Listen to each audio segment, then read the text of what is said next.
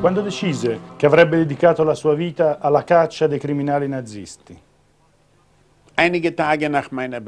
Pochi giorni dopo la mia liberazione. Fui liberato il 5 maggio del 1945 dal mio ultimo lager, Mauthausen, dall'esercito americano. Ero uno scheletro, pesavo 44 kg.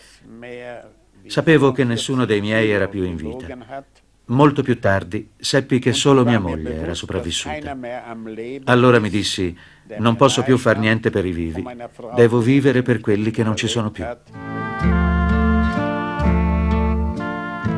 Non lontano da quella piazza dove ancora risuonano gli Osanna Hitler, al numero 6 di Salztorgasse, al secondo piano di un edificio anonimo, piccolo borghese, dalla facciata grigiastra come tante case di Vienna, c'è l'Ufficio della Memoria, il centro di documentazione ebraica diretto da sempre da Simon Wiesenthal.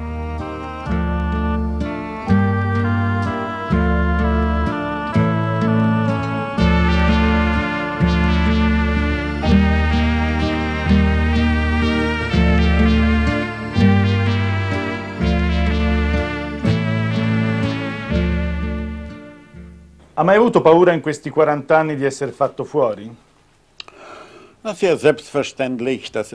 Naturalmente ci sono state persone che volevano eliminarmi. Eh, Abbiamo otto o nove fascicoli pieni di lettere minatorie. I nostri numeri telefonici non sono conosciuti pubblicamente e naturalmente ci sono stati degli attentati.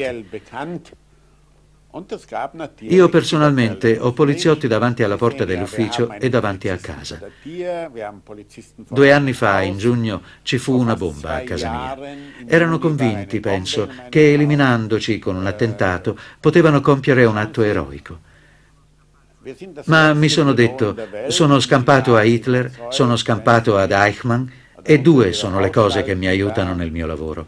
Non provo odio e non ho paura. Simon Wiesenthal non ha paura.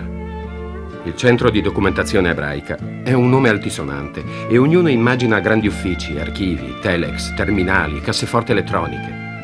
No, sono solo tre stanze.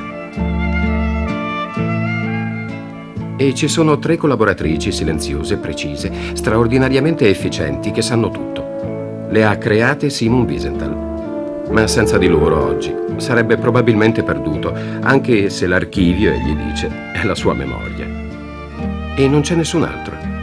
La forza del centro sta altrove, nel coraggio di Wiesenthal, nella sua tenacia, nella sua capacità di intuizione e di intervento, e in una rete invisibile di amici volontari, colpiti dalla stessa sventura. Gente come lui che ha fatto un giuramento a chi non c'è più.